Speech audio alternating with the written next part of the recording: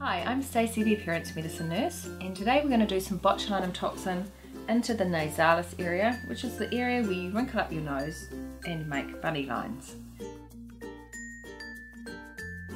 Okay, so we're going to do the, the nasalis area, the nose, to stop the bunny movement. We're not going to fully stop any movement, we're going to decrease the movement, and decreasing the movement will soften the lines. Scope your nose for me, relax.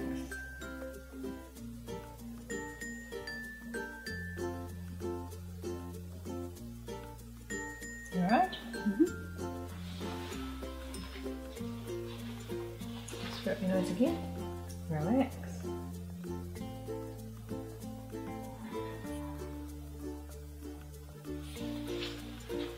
And one more time.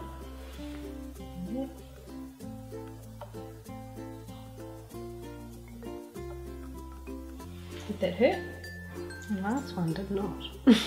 the other two are a little bit sore? A little bit stingy and make your eyes water. but quite tolerable. Yeah. Okay, thank you.